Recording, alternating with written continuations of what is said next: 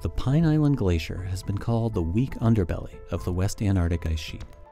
It's large, thinning rapidly, and is a major area of focus for researchers concerned with contributions to sea level rise from shrinking ice sheets and glaciers.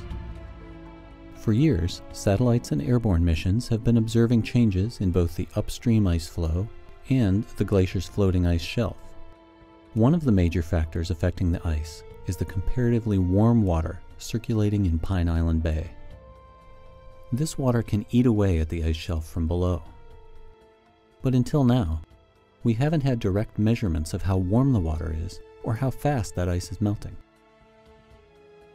After five years of study and preparation, an international team of researchers has drilled through 500 meters of ice to install a series of instruments below the ice shelf to measure both ice loss and the temperature, salinity, and speed of the water.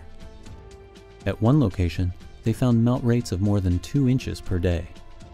Scientists will continue to analyze the data from these instruments to learn more about seasonal changes in the interaction of ocean and ice.